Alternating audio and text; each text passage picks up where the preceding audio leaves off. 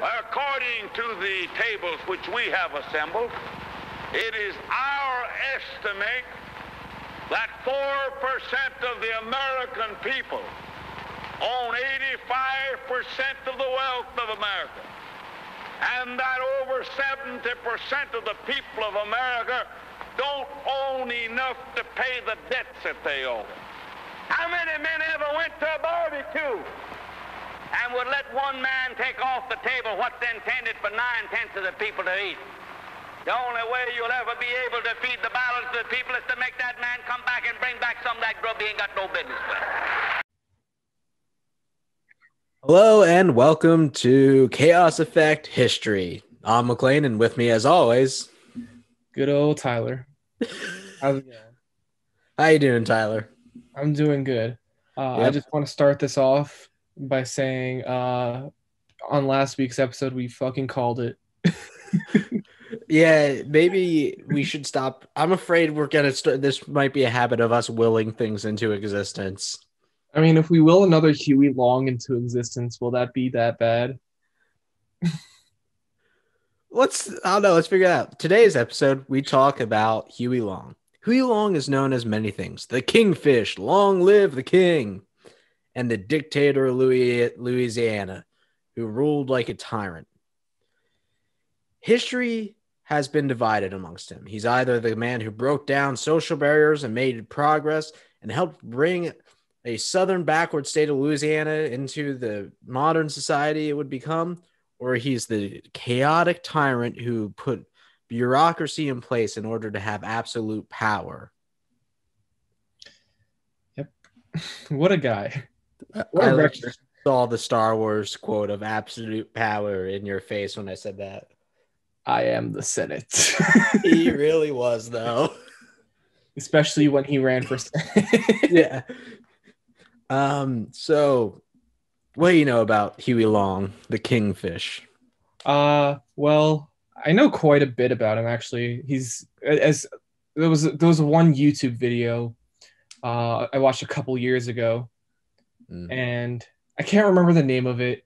Uh, If it comes up, I'll. Uh, I believe I know who you're talking about, like that dude who talks about like how we'll get into this, but Huey Long has this incredibly complex, interesting history, but a lot of aspects kind of get summed up to be like the dictator of Louisiana becomes a meme. Yeah. So, it as as typical with me, as soon as something like historical, like I find out about it, I'm like, oh, I got to go down this rabbit hole. So I watched a YouTube video about him, and I was like, what the? How did I not know this guy existed? That's crazy that this actually happened. So I did. I went super deep into uh, research, and uh, my memory has not failed me that bad. So yep. So let's start with the childhood of the kingfish. Huey Long was born in 1893 on August 30th. Huey Pierce Long was, well, he came into a well off life. His mother, Caledonia Tison, was a very smart woman. So was his father, Huey Pierce Long, a livestock farmer. They were considered a frontier family because even though it was the 1893, about the ver- pretty much as far into the industrial revolution as you could get, a lot of America still wasn't completely developed quite yet. Even this, though more states had been established at this point, keep in mind America was still a growing nation. Most of Huey's neighbors were in poverty, even though he wasn't. And he was kind of in a household that was kind of a higher echelon compared to its neighbors. Huey was a, had a spirited nature that could be found at a young age. He would often get in trouble chasing farm animals. His father had to build a cover over the well, fearing that young Huey might just get a little too interested one day and jump in and see what would happen. Huey, small for his age, didn't share many interests with the boys around him. Instead, he took to books, becoming a bit of a aficionado and fine works. But the problem was he had trouble getting his hands on books because, well, he lived in Louisiana in the, er, in the late 1800s and early 1900s. Yeah. Um, we've established Huey as a well-off figure, but well-off to those standards is still very low. Yeah, well, off, I, I should probably clarify. Well off means like he was literate. They could afford to put food on their table every night, and they might have had like some nicer clothes. This is what we'd probably consider like middle class now, or upper middle class even. Yeah. Uh, well, well off has a very different meaning in uh 1890s Louisiana. Yeah. He, they were it seems like being livestock farmers caused them to come in a bit of wealth compared to their neighbors Yeah, for sure. Yep. Um, but because if, if that's considered well off, you can only imagine the poverty that was happening amongst uh the other people around him. hmm yeah well off is one of those like when we think well off now it means ah so he has a boat and a jet. Yeah, but uh, that poverty has a huge impact on a young Huey. he also wasn't very fond of farm work. Something i wish i say i could relate to but i'm pretty far- fond of it myself. Well, he I've- didn't like the repetition and boringness that came with it. He instead took the jobs like delivering baked goods And baking, weirdly enough, would help him out more than once in life. So, in his childhood, the shimmering glimpses of his political beliefs would grow. So, I want to make a brief statement about many figures like Huey Long. Huey Long is a character whose history might be a little hard to get quite right because a lot of the information about him either came by people who hated him or people who loved him. So I did my best to try to cross check resources, and this is the product of it. However, if you preferred, if you don't believe believe us, you can look up. There are several websites dedicated to Huey Long and several government documents that document the life of Huey Long pretty well. But let's start going into uh, the early glimpses into what could possibly inspire Huey Long to become the king of Louisiana. Uh, so Huey claimed that when he was eight, a farm, a nearby, a neighbor farmer had gone, a neighborhood farm had gone up for auction. In order for the farmer to pay his debts to the store, during the auction at the steps of the course, the farmer begged the crowd, pleading with them uh, that he would pay his debt if they gave if they gave him enough time to harvest his crop. When the sheriff was about to declare there would be no sale that day, the credit union made a bid on the farm and won, forcing the farmer and his family into poverty and homelessness. To quote Huey Long, that poor farmer was the poor farmer was I I was the farmer was poor. I was horrified. I could not understand. It seemed criminal. This was stated uh, during one of his election, uh, him reflecting later on in this. So, yeah, and here we discover, wow, this really is America. So let's talk about where Huey Long was from, Winnfield. So Winnfield was a stronghold of populism. What do you know about populism? well, the populism movement was very uh, popular at that time. You have a lot of uh, really prominent figures uh, popping up uh, throughout the late 1890s and early 1900s and 1910s. Right. Um, Charles Coughlin, who is a famous, uh, known as the radio chaplain, which we might do an episode on, was also considered a populist. Yes. So, a little more in depth on populism. So, populism is the philosophy that the needs of the common people overwhelm the needs of the elite and corporations. Now, some might correlate this to socialism, but we shall be clear. Huey Long was a staunch anti socialist. We'll talk about why that might be a little later, but that is something I want you to keep in mind when we talk about this throughout, throughout this uh, story of one Huey Pierce Long. Huey came from an from intelligent parents. As I said earlier, they would he was very spirited. He was allowed to speak speak free mindedly, and he'd often go up to strangers playing checkers and to explain to them what they should do next. His mother was remembered as being a tolerant and compassionate woman, often make her children go to the neighbors who were less fortunate with gifts of food and clothing. She made sure her children had the righteous gift of charity. Huey also inherited a photographic memory from her.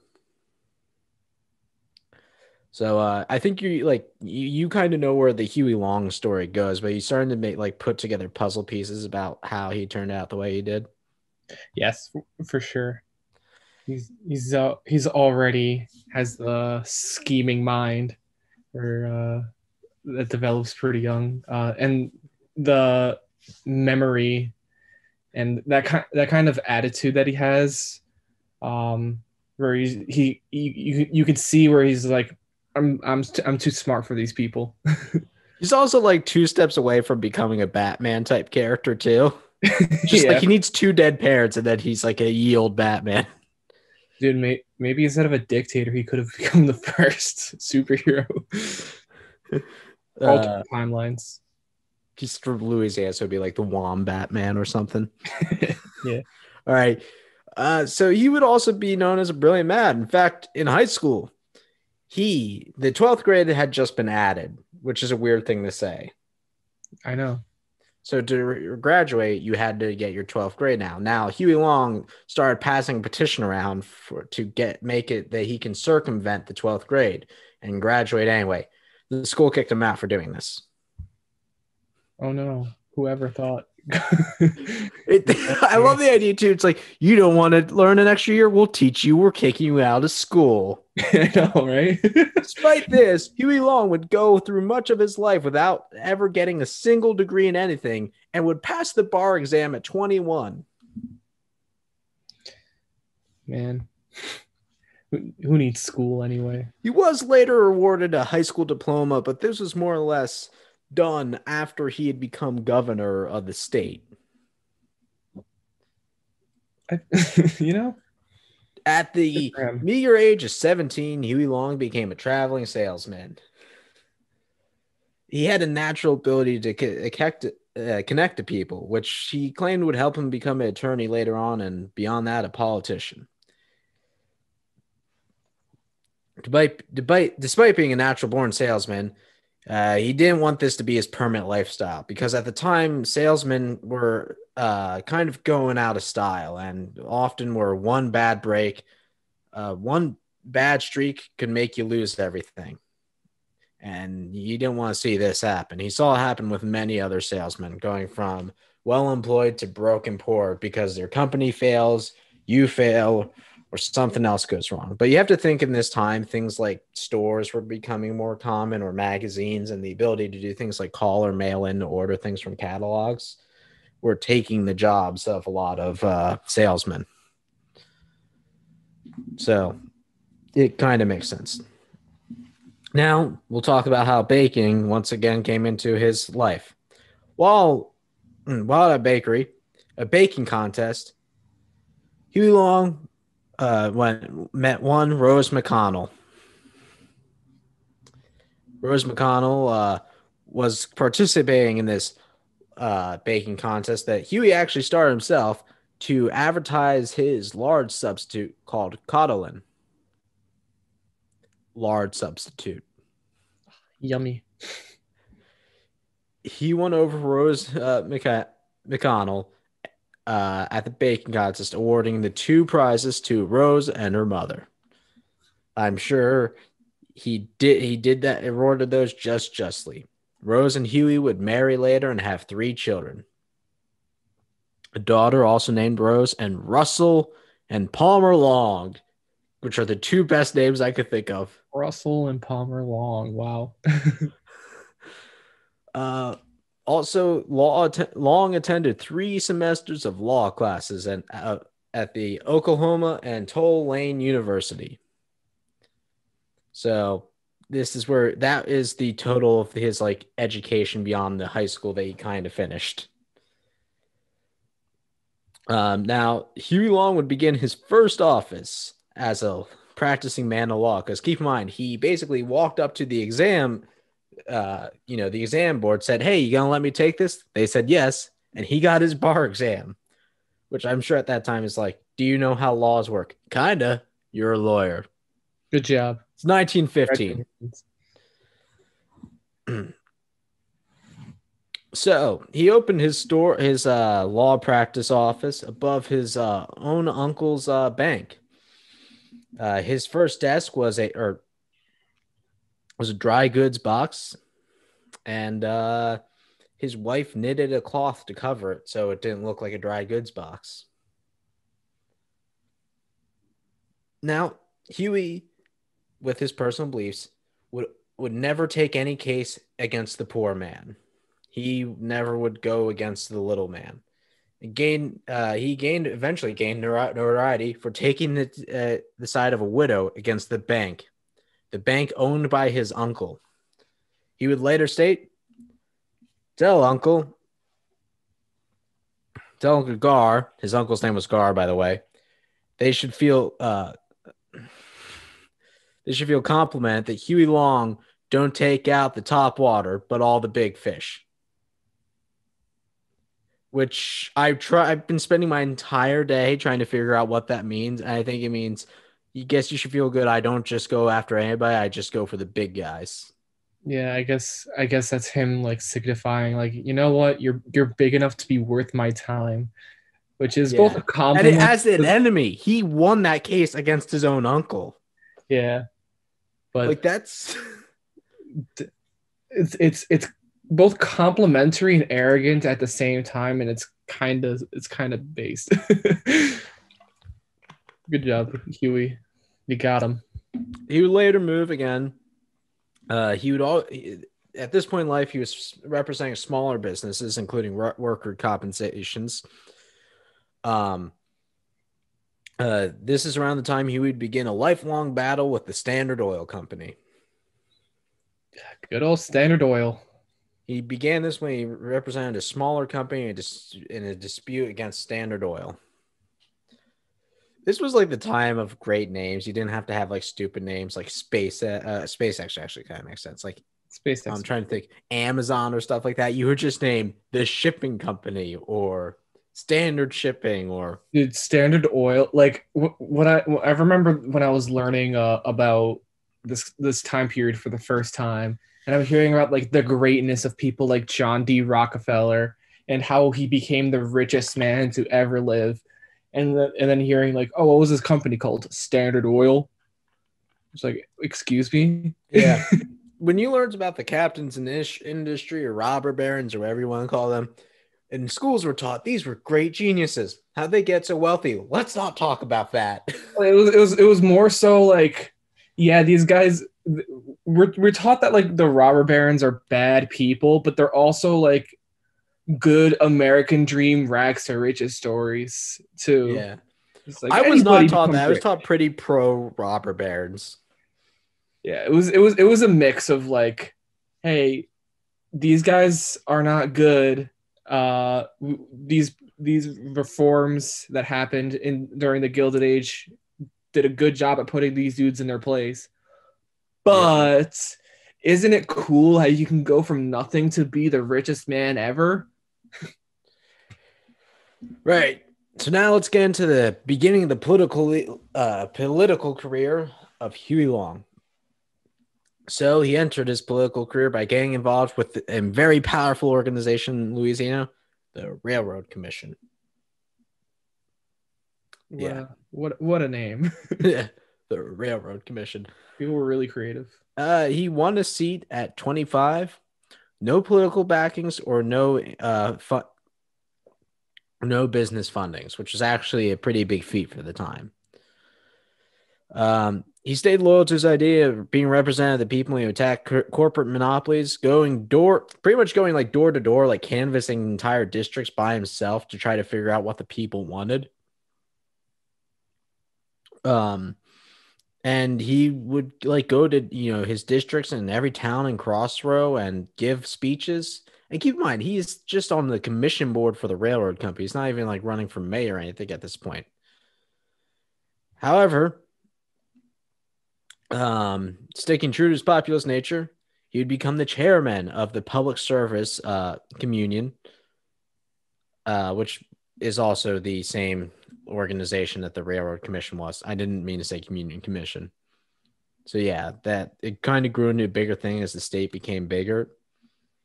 Um, he eventually uh, sued the Cumberland Telephone Company for raising their rates and argued to, for an appeal again on the Supreme Court. The phone company was forced to send back 80,000 checks to their overcharged customers. That's a lot. what a win. Yeah. During this trial, he impressed the Chief Justice, Howard Taft, who claimed that Huey Long was one of the best legal minds to ever go before the Supreme Court. Hmm, that Taft guy sounds familiar. I wonder what else he did. Nothing. Let's move on. um, Huey Long is like kind of like the for us like a Forrest Gump from Louisiana. Wait, where's Forrest Gump from? From Bam, I think. Yes, I think so. I haven't seen that movie in years. He's like a very he's like the opposite of Forrest Gump, where he goes around and pisses people off when he meets them. Though, yeah. we'll talk about that a little later. So, um, he would then eventually made his first statewide bid when he ran for governor at the age of thirty. Huey mocked the old governor uh, and the regulars of New Orleans. Uh, the old regular uh, party, calling them pawns, and had big business ran them. Basically, a lot of things that you hear now that big business is the enemy and stuff like that. Huey also stood against the Ku Klux Klan, refusing to take any influence from them. And he never really ever played the race card, which I know. And so let's talk about playing the race card in this period of time. That didn't mean he was like not pandering to like minority voters. It more or less meant he wasn't siding with whites and saying he was going to do a bunch of terrible Jim Crow things. Right. Because if you wanted to win an election, that was one way at that time you could do that, which is terrible. Yeah. It's it's weird that like being not associated with the Klan for that time is considered like so in, in the especially like in Louisiana and other places in the South, like that radical is considered progressive. We should also just like when we say just the South, we do should remember our northern college is built very close to where the headquarters of the Ku Klux Klan used to be. Oh yes. Which is terrifying. Yeah. But um the the South at that time, especially um, coming up soon in the in the 1920s, but in the post Reconstruction years. Yeah, uh, we're gonna do some episodes on how much influence the Ku Klux Klan had. Um, and when you think of the Ku Klux Klan now, you think of some rednecks with bags over their heads, just doing some racisms. They were like a full ass society at this time, so it wasn't like just pissing off a handful of rednecks. It was pissing off some people who were very entwined within society at this time. Right. And it wasn't just they weren't just like owning the libs, they were literally like murdering people. yeah, blowing up churches, stuff like that. Um, they still do that. They're still terrorists. They're still bad people and have killed people today to this day. Yes. Um, so he placed his focus on economic equality. Uh, he ran a close race and missed the runoff by seven by seven thousand four hundred votes. He came in third. Who said if it wasn't for the heavy rain, he would have gone that one because all of his prime uh, primary voters are from rural areas. He would later make the Louisiana dirt roads an issue, uh, saying that that was what prevented him from taking the win that day. Right. Like the rain sounds like a BS excuse now, but when all of your roads are made of dirt and then it rains and then there's just mud everywhere, it is hard yeah. to get around. When all your roads, and let's keep in mind, not everybody had cars yet. Yeah. Like, and if something you did have cars, there's a strong chance the wheels were made of wood still. So like, it's to to get to a, a polling center is not easy, and to make and making matters worse, you add, you add rain on top of that. No, nobody's gonna go.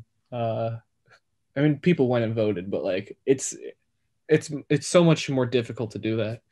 So the ra- the rain to us would sound like all right, he's just making stuff up, but like no, that's like a legitimate reason why people couldn't vote. Yeah, it's kind of like if the biggest blizzard or hurricane or whatever happened on election day.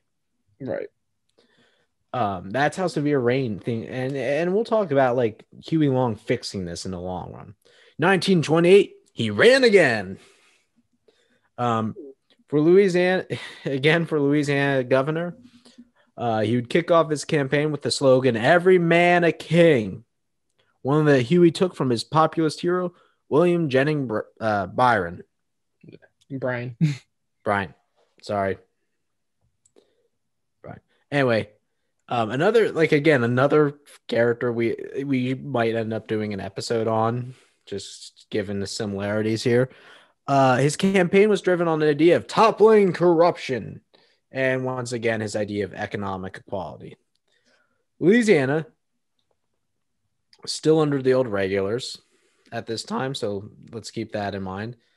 Uh, and was talk about Louisiana itself at this time. Now you might think, well, it's getting closer. It's the roaring 20s. We're depression's a few years away. It's a pretty good time to be alive, right? One in one in four people. Mm. If you lived in Louisiana, only one in four people were literate. Oh, yeah. The illiteracy rate was incredibly high. Most people didn't finish school and education wasn't a common thing and the taxes were designed to, in, to hinder the lower class but serving the upper classes.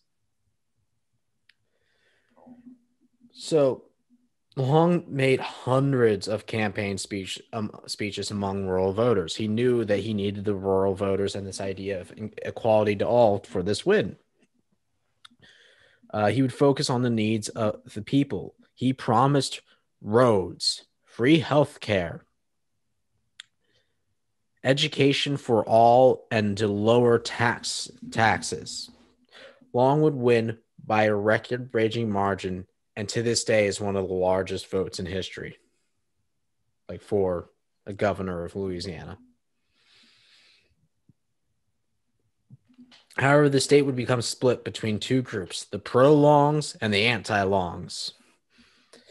The day, day he took office, more than 15,000 people had flocked to see him to take office. And this would begin the kingship of Huey Long. So, uh, what do you think so far about our boy what, Huey? What an origin story. it's yeah. Started from the upper middle classes, now we're here. This this is the this is probably like one of the most like American upbringings I can think of. Like this very much encapsulates the American experience at yeah. the time. And so, what do you think of his first two campaigns too? Um, I, I, it's it's hard for me to like um like knowing what happens later and then know just imagining him at at this early stage. I'm like, this guy seems pretty cool. I could never, but like I would never imagine him getting very far with this because of how not only anti corporations he was, which is a big no no because the corporations run literally everything, and also um, given like his like relative like he starts off in the railroad commissions to imagine that kind of stuff like growing to the to the governorship and then eventually the senate it's kind of wild. He didn't have a high school diploma. Exactly. Like how far he went with what little he had is insane. And had his uh, a spoiler alert, had his life not been cut short, he probably might he might have actually uh if the that things presidency. that later on happened in this episode didn't happen, he might have been president of the United States. Correct. like I if like I would have no doubts that that would happen. Yeah, I it's think insane. the thing that happens is the only thing that stopped him from becoming president of the United States. So Huey turned his state into a bureaucracy, making sure they had evil, equal people at every level of government. He wanted loyalist supporters and a loyal political system that would pretty much do whatever he said. Um, but also with this came a chance. If you came up, it, it, was a very common thing that if you needed a job and you came to him, he'd find you one or provide you a scholarship or a small loan to help you get there. So, yeah, at one hand, he is giving friends and people asked nicely and people who voted for him a job jobs for him. On the other hand, he's doing some very nice things like giving scholarships for, to people who wouldn't have opportunity otherwise. So Huey would push bills through. Uh, this includes some uh, free books for children of all schools, and this was regardless of race. Um, keep in mind something he never really discriminates in anything he does. He, while not necessarily progressive, he definitely didn't care about race like others would. He didn't see segregation as something that was essentially a focus for him. He his view he was more against economic equality than racial equality, but he was also not one for racism. He was against the Klan and he was against a lot of the old establishments that existed at the time. Right. But he would also do things like abuse police power and, as we've said, install his own people wherever. Uh, However, around this time, he would also begin meeting tons of opposition because most of the newspapers were backed by an- anti longs. Uh, they'd start calling him a dictators, and uh, he would run a tight ship. He had the third lowest cost government at the nation at the time. So within all the state governments, he had the third lowest run cost one. So he was saving a ton of money he also prompted, so he was a big fan of Louisiana State University. Um, you could find him at many football games on the weekends, or you could find him in the locker room giving uh, prep speeches to all the uh, pep talks to all the uh, young men about to play football. He even came up with their fun, fight song, which is used to this day. Oh, really? I did not know that one. yep. Uh, he also reworked the tax program completely, making big businesses pay more money and also taxing the rich and the rich and powerful even more, while cutting taxes for the poor people. Crazy idea, right? What? Tax, taxing the rich? No, we cannot have that. That's that's too that's too radical. So companies such as Standard Oil would seek that he was kicked out because how dare he make us pay as much as poor people? I hate the past. I hate this so much. this, the, the past gets even sadder when it's the present. um so basically what happens here is they take him to the Senate around the same time he was also playing a Senate, and they say they'd impeach him. Um, and people start blocking his uh, him. And when he says he's impeached, he says, "Well, now I'm going to run for senator." Um, later on, nothing really happened besides the impeachment kind of getting halted. Even though he almost successfully got one third of the Senate to throw this out as illegal. Um, they didn't really know who he was, too. He wasn't like a well known name quite yet, besides being known as the governor. Um, so he kind of just walked up and said one third of them, regardless of party politics, like, hey, I think you should throw this out. But he couldn't get the two thirds needed. Um, so with the impeachment of Huey Long halted, uh, his approaches began to shift sh- shift in how he came across politics. I used to try to get things done by saying please. Now I dynamite dynamite them out of my path. The nuts on this lad. yeah, he's uh this is his response. This is kind of um you know, I try to think of somebody who spoke like him, but I don't think there's any modern equivalent of somebody who gives speeches like him. Yeah, he's Huey's uh, one of a kind. Yeah, Huey Long would run for Senate in 1930. Also, it's only 1930 by this time. Um, he would Uh, he would run as Huey Long for Senate and good roads. Bro, he really liked roads. That was his big thing, roads. I mean, we take we really take roads for granted now. We really do. Keep in mind that was also pretty much Eisenhower's thing. Eisenhower made a really good road. That's one of his Yeah. things he did. His um interstate highway system was That also like destroyed public transportation. But yeah, yeah. It's it's it's controversial for sure, but Yep. no matter uh his his highway system changes the the landscape of America and makes uh cross tra- country travel or cross state travel travel and is so much more accessible but we're talking about long Eisenhower is a different person for a different time. Yeah.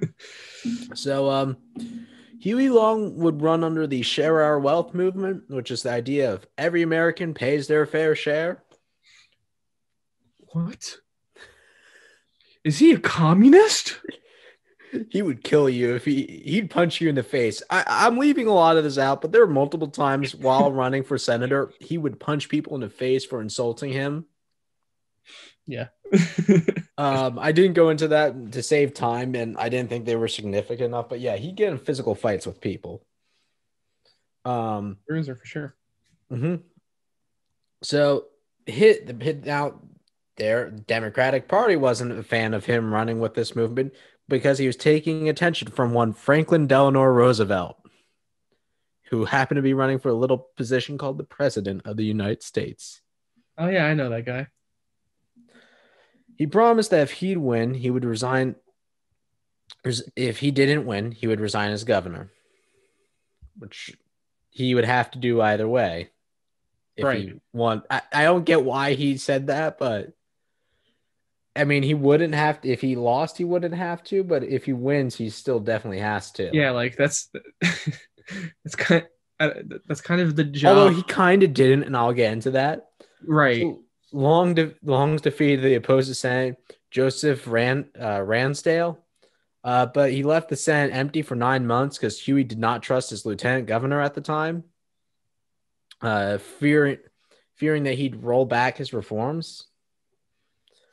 Um, when Huey finally did left for Washington uh, after nine months, once he installed a uh, his old friend and ally Alvin O. King. uh sorry. Yeah or yeah his friend alan o'king. Um huey would insult uh the former uh senator by basically saying to the criticism of him not being there for nine months that the seat was em- that that's nothing compared to the seat being empty for 32 years of randall's senate. Oh, uh, Huey still never let go control of Louisiana in the next gubernatorial election. Uh, he made Oscar K. Allen, his childhood friend, became the replacement. Allen would, Os, Allen would basically follow any order. Um, so he kind of still controlled the government of Louisiana, even though he was the senator, because his best childhood friend and staunch loyalist supporter was in charge now as governor. Yeah. Um, in the Great Depression, Long pushed again uh, for the few powerful, uh, pushed again, and would one note once note that uh, that ninety five percent of the wealthy uh, of the wealth in the country was held by only fifty percent of the nation. Um, he would push against wealthy families, and you know that goes well for you. Uh, and he also wanted to uh, he- Congress to call this out too. Basically, it's like, come on, Congress, call this out, do something about it. 1934, he pissed, he pushed for the share our wealth reform, and he wanted to make it that no one could make more than 50 million dollars, and later lower it to five to eight million dollars. Whoa. Yeah, this Imagine- so- Imagine somebody having the guts to pull something like that now. This is an idea of wealth capping, and it's been passed in the past. And it's a weird thing where I really do agree with him. Like, I didn't think hey, we should make four, five, and eight million dollars, but yeah, maybe fifty million dollars seems reasonable if you're making more than that. Maybe you can afford to give the rest of it up. Right. I couldn't imagine needing more than fifty million dollars in my life. No, you you, you don't. Um, he also aimed to provide equal opportunity for all Americans and wanted a standard opportunity in living. So, yeah, he basically wanted people to have things like homes and food and jobs. oh my god, what a what a radical. Imagine giving people like textbooks and being able to read and paving their roads. That's ugh. So Huey, in his in his classic fashion of making friends everywhere he goes, would refer to both parties as sellouts to big business. You know, changed. Um, and he would be called many things for saying things like this: a socialist, a radical, a demagogue, a dictator, and uh, a lot of the nation's media became became the anti-long at this time. Huey would attack the never the negative uh, press by making his own broadcasts across the nation, and also starting his own um, his own newspaper known as the American Progress. Long became the pull no punches candidate with few friends in Washington. He struck a chord with millions across the nation. And why I say millions, I don't mean like an exaggeration. 7.5 million joined the Share Our Wealth Club, and 20 and he had 25 million listeners on the radio as an average, which is a lot in the ni- early 1900s. yeah. It's it's a lot now, but imagine like how crazy it is back then where you have such limited a- access and it takes so much longer to transmit messages. I don't think you could get 25 million people to know who the senator of my state is, Right. let alone to get them to listen to him on the radio. Th- that's the crazy part. We're not talking about the president. We are talking about senator. He was more popular than the president at this time. That's insane. Yeah. Um, and he was speaking of this, he received 60,000 letters a week from his supporters. So he was literally he he's kind of like Southern Santa Claus. People ask him for things that he tries to get done.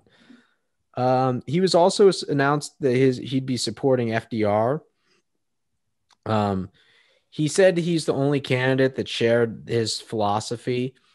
Um, uh, now, even though he said in 1932 he would, would support FDR, he would later plan to run in 1936 when he found FDR to fail meeting his goals.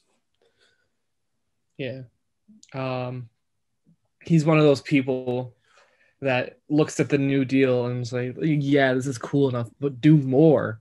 Yeah, Like he's like he he. I imagine just like an image of him busting open the door, looking at FDR. What are you doing? What do you think that I shouldn't be doing this new deal thing? No, we need Nope. to go full force on this bitch. right, like What?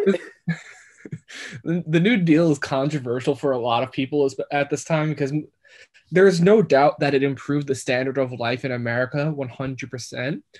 But there are so many people that are like, yeah, this is great and all, but like you need to go farther with this. You need to be pushing more progressive programs. But then all of, this is also the people like, no, this is too much government intervention in our lives. We don't want this stuff. We don't want things like social security or Right. whatever. So Hugh Long would have been a stellar candidate. He was popular. He has similar to FDR, and actually, FDR considered him one of the two most dangerous men at this point. The only other man was MacArthur, and we're gonna do a whole whole episode on why I hate MacArthur. But yeah, basically, there's only two men that FDR feared: one Huey P. P. Long and Mac- General MacArthur. Those are uh, valid choices.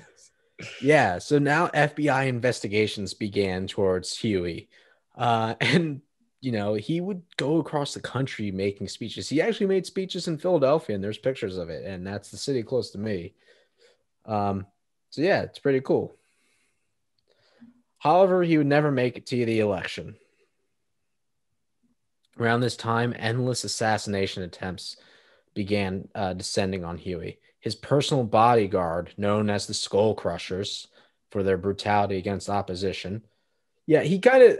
I'm kind of brushing over this quickly, but let's go on this. He had his own private security force that were pretty brutal and kind of like the Gestapo, you could say.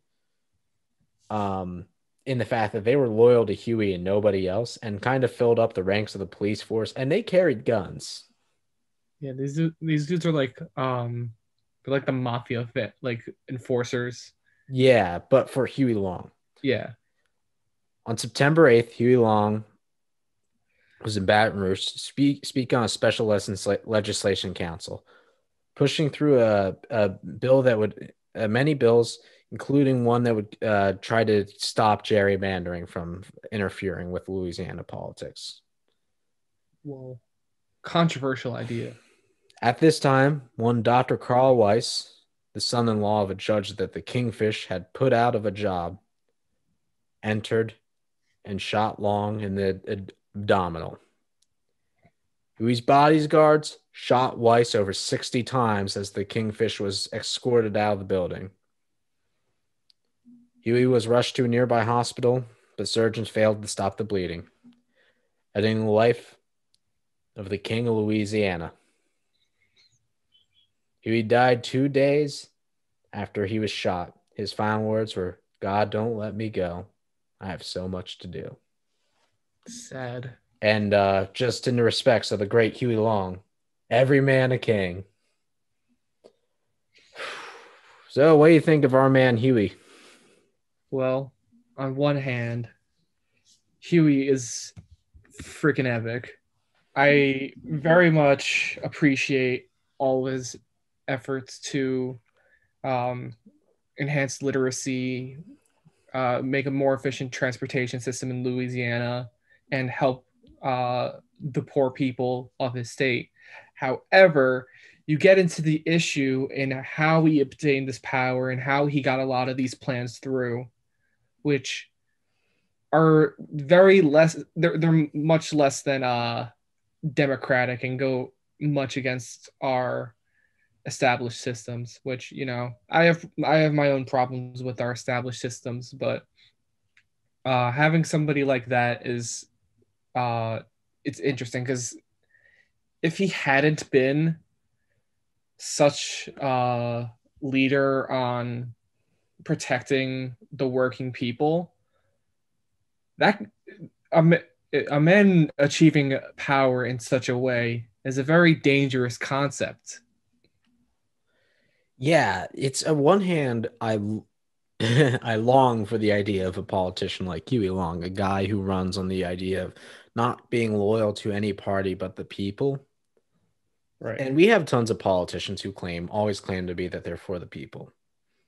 You right. know, you had Bill Clinton, I feel your pain. FDR was, I think, as close as we'll get to a president in then in a hundred years who will ever be for the people. Maybe in our lifetime we'll get another. And Trump claimed to be for the white people at least. Straight up.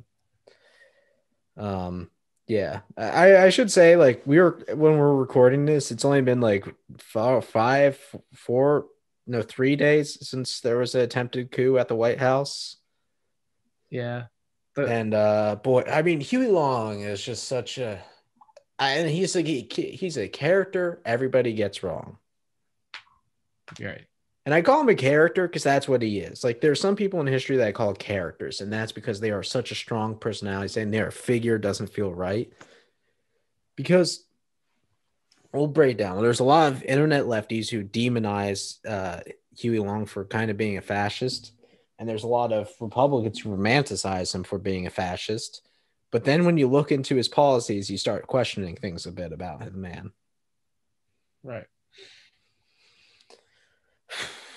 So, I mean, at this point, I have to ask you: Do you think I'm going to ask you a few questions about Huey Long? One, do you think he was justified in abusing power if it meant doing good for people? Um, no, because that gets into a lot of like Machiavellian principles of the ends justifying the means, and that's a philosophy I don't. I I typically don't agree with because not especially when you're talking about uh, governments because like as like as I said earlier, we're lucky that Huey was the man he was because that kind of power in the wrong hands leads to a dangerous situation. Yeah, and I have to. Yeah, Sorry, keep going. because especially um, in, especially in America, where we have uh, this system of checks and balances, and to have people who scoff at the system of checks and balances, however flawed it may be, uh, can lead uh, people down a dangerous path. If in in in some ways, uh, uh, Trump is an example of why. I, I'm not trying to compare Huey Long to Trump, but he's he's kind of like what could have gone wrong with Huey if Huey was a different person. I think Huey Long's kind of the anti-Trump.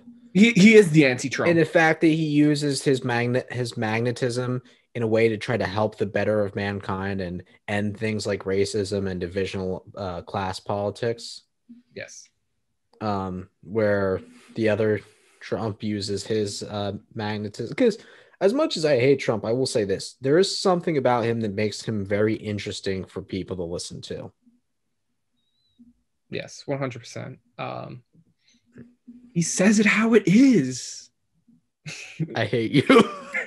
um, you know, and I agree with you. Like, as much as I love the idea of people taking the power to do the good, better of the world, on the other hand, you do justify people to do wrong by the same means. Then, right? Because that just opens the floodgates for someone worse to do the same thing for detrimental purposes.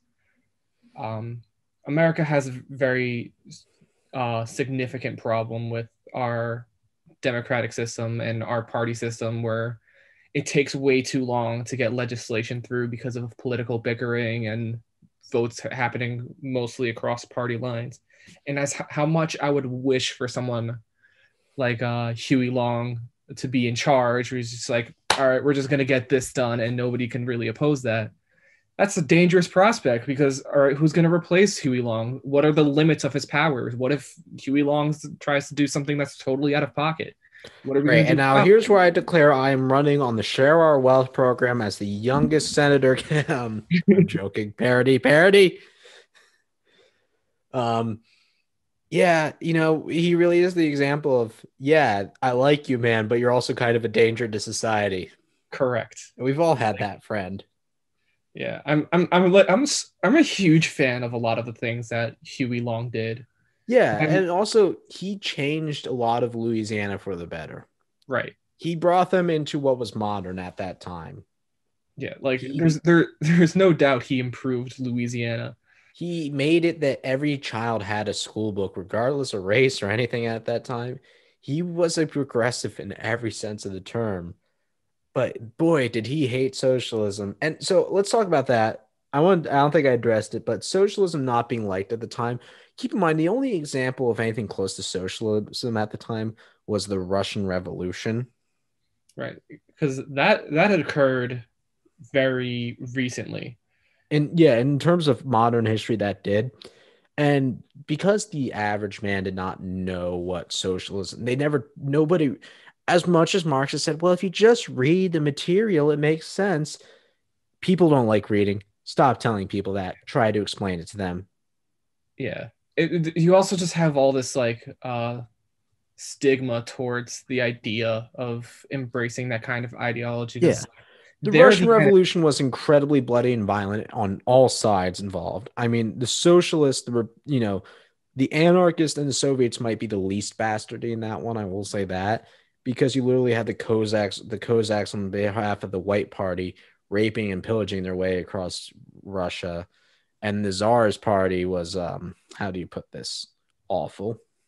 Yeah, everything about the Tsars is awful. yeah, Russia is just a history of hey, could this get worse? Yes. yep. Um, so my final question for you: If Huey Long had run for president, do you think he would have been president? And how do you think that would have changed America? I I know that's a big one. I, I think I think he might have actually. Um, I mean, it, it all it actually depends on his response to World War II, which hadn't broken out yet. Yeah. At the time, at the time of his death, we were still in the midst of the of the depression, and FDR um, was well on his way into his presidency. So we don't know how he would he, if there's he would have had to challenge FDR in the primaries. I don't think he would have beat FDR. that- There was no Right. way that was going to happen. I but I think definitely after World War II, definitely after FDR was done, he could have been a potential big dog if he had lived that long. Right. It's just the thing. World War II complicates things so much because we know FDR won four terms. Yeah, Um, which is the only time that's happened in That's history. the only time it's e- ever happened, and it's the only time it's ever going to happen because now we have the Twenty Third Amendment. Yeah. But um, Which, thank God we have that crap. Yeah, I, I I love the Twenty Third Amendment, but I don't know. Could he have challenged? Like, I don't think he could have challenged FDR a second term, but could he have challenged his third term? Probably not, because everyone is like, at the, at that time, you're just thinking about like, I'd rather have like a consistent leader through this crisis. Right, but I think when the war is over, When the wars are over, I think he has a good chance because yeah, um obviously then you get like Truman after FDR passes away yeah, true. and no Tr- Tr- Truman's his own figure it's not he's not entirely popular yep. Um, I think I think a populist like Huey would have definitely had a really good shot post World War II So now we're gonna do our uh, question from the fans. Except we nobody sent in a question this week. And reminder: if you do want to send us a question, send that to chaos effect history at gmail.com. Now, Tyler, we spent this entire episode probably talking about one of my problematic favorites from history. Who's your uh, pro- problematic favorite char- uh, favorite person from history? you know we talked about him a lot this episode and I I, I FDR is really Yeah, because uh, as much as I want to praise the, the New Deal and his leadership through World War II, I cannot, I will not let the internment camp slide. yeah. The con- they were concentration camps. Like, let's be real. I, I will not let that slide. As and um, as much as I really, yeah, I was like, th- the New Deal was revolutionary, and I it not all of those programs were successful and not all of them went far enough. And I I very much agree that like FDR should have gone a little bit harder on the New Deal. But I very much admire the willingness to try something new, to go forward with a plan. We don't really know if it's going to work out or not, but with the promise that or the intention that this will genuinely help people and improve their lives. And not a lot of politicians will have that kind of ambition because they're so concerned about playing it safe. Yeah. Also, just the pure conviction of like somebody like both Huey Long and FDR is something to admire. Um, I'd say like I have a lot of problematic favorite fig. Che Oh, yeah. On there for sure. Yeah. Because like on one hand, you understand why he did these things. He still did kind of kill some innocent people and did some bad stuff. Um, for me, definitely a I, a big one on that list is probably Teddy Roosevelt. Oh, Teddy Roosevelt, absolutely. Something with the Ro- Roosevelts, but uh, Yeah. people forget that uh, Teddy Teddy Roosevelt was a racist imperialist, Yep. and that is something that you gotta understand because they don't really Yeah. tell you about that part. Uh, And that's the tell thing you about like- his trust busting and uh, the fact that he read the jungle a couple times, but we don't really know how not his role. Also, And, do you uh, want to explain what the jungle is real quick? Good old. It's a it's it's a novel. Or no, it's not. A, I don't know if it's considered a novel. It's a book by Upton Sinclair that really uh, tears apart Gilded Age in- industry and goes in, into a lot of depth about food manufacturing Yeah. and exposes a lot of the problems with corporations and the food production in America. Mhm. And it's nasty. And Ch- Teddy Roosevelt is famous for reading that book, and he's and then just like going like, no, we're not doing that no more. But Yeah. I think the most like Teddy Roosevelt's definitely like, oh, he's so cool. He did all this stuff. It's like really bad racist. Yeah. because Teddy Roosevelt is also he is like a really cool guy. Like you, he's he's like the he has this uh personality of like this outdoorsman. He loves our national. He he basically uh revolutionized our national park system. He loves nature. I'm And- sure you've had this moment because like we both go to a college with a lot of people. You ever meet a dude like talk in class? It's like, oh, dude, this guy's really pretty chill. We're talking about a lot of the same things. He likes, and then it's like five minutes in like some political discussion, he says something like, oh, oh, oh, you have terrible views. yeah. All right. So um in my history class this semester, um we were talking about um this was right after uh Supreme Court um Justice Amy Coney Barrett was nominated. Uh and we were talking about the Supreme Court in our US history class and one person is asking questions about it. It was like, okay, that's cool. He's, you know, asking questions or whatever. But then in mid conversation, he turns his flat, he turns his camera on, and he's got this giant Trump flag on the wall. With With a few of those this semester too. uh, but like, I had my camera on at this time because I'm like, you know, there's like nobody. There's like 60 people in this class, but nobody has their cameras on. So I'm like, yeah, I, I wasn't doing anything. So I might as well just like make it feel like he's like talking to somebody. yeah. But like he turned his camera on and I'm just like, Oh. all right. Well, that's all the time we have for this episode. Thanks you for the listens, and you can find us wherever podcasts are. And uh, soon we'll be on the social medias. yes. Um, real quick, uh, I fi- I figured out which YouTuber it was, and I just want to give him a shout out. Emperor Tiger Star did a very good video. yes, uh, love Huey- his content. Always Yes, awesome. That's that's the that's the one that really inspired my Huey Long uh, research. So I just want I I've remembered the name, and I just wanted to give a shout out. all right. See y'all.